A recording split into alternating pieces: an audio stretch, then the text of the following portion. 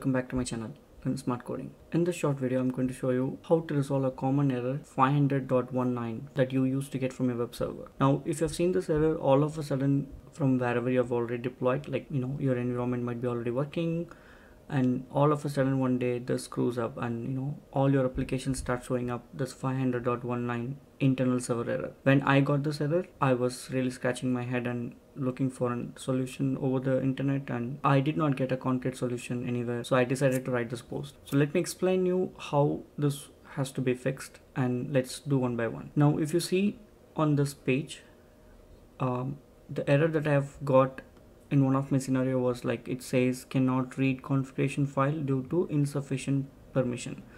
Now sometimes the errors are really misleading. You might be really looking for permission issue whereas it is really not a permission issue. So what I've done is in order to demonstrate this I've simulated the same scenario and then I've explained you how to resolve this. Here in this video I have created my virtual machine which is Windows Server 2016 and I have installed the web server. In order to give a quick demo I have deployed a small application here and then I will try to open this and see how this works. So if I try to browse this I will see this 500.19 internal server error right? So this was not working. For example let's open up. See this is not working. I'm getting different error codes this this is the error code I'm getting and even in the website you might have seen the same error code so there are many things that can go wrong but one of the common thing that has gone wrong and for most of the people it has resolved the solution is so what happens is your web hosting which is installed on the web server has gone wrong. And when this will go wrong is when a regular patch happens from the Microsoft over the night or over a scheduled time that's where this happens. So they override they update something else automatically and then it really screws up this. So let's see how to resolve this. So if you look at this website if you go to the third solution where else I have been talking about installing the hosting bundle. So what this is is basically the hosting bundle has to be installed the .NET Core application has to be installed on the IIS in order for IIS to support the application. All what you need to do is click on this link which will open up a page and then you can directly download the, the direct link here the, the .NET hosting Windows exe file.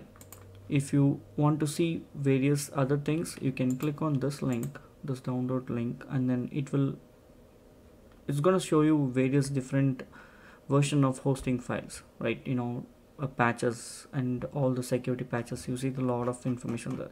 So what I have done is I've come here and taken the latest one. Since it's a Windows machine I have downloaded this one. This is the direct link which you have seen here. So in order to speed up this demo I will go to my virtual machine. I'm, I'm going to show you the file that I've downloaded. I've copy pasted here. Like this is something that your server team will do. If you're working in a company and you're facing this issue you can talk to them and then you install this file. This is from Microsoft and it's it's a web hosting file. So once we install this see you can see that all the runtime and all the available DLLs are getting installed. Installation is done. Now I will directly open up the the page that we were earlier trying to open. Okay.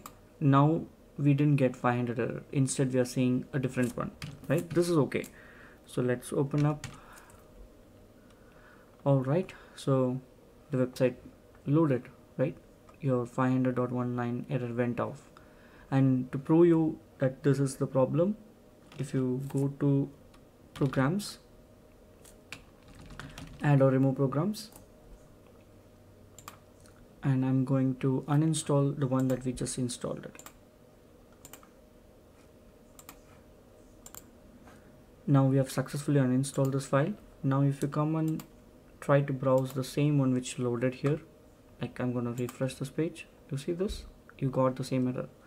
So this is the proof that your web hosting installation has gone wrong during your update or the patch that happened on the server. Try this and let me know in the comment that it worked for you or not. If you like my video subscribe to my channel like it share it. Happy learning. Thank you